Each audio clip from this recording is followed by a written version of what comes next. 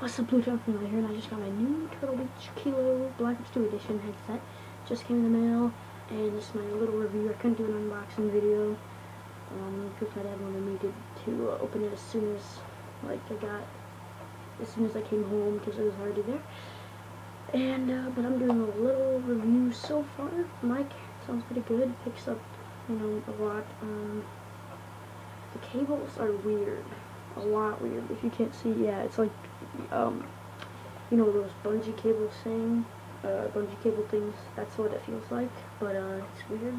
Also, the chat box thing is huge, and it's kind of weird, but it's not that big of a deal.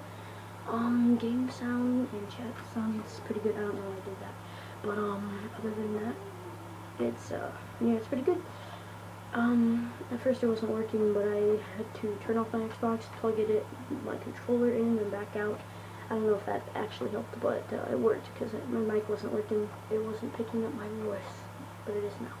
So yeah, um, hope you guys enjoyed. Have a good day. Let's get the game. Just like breathed into the mic and it was really loud. So yeah, thank you guys for watching.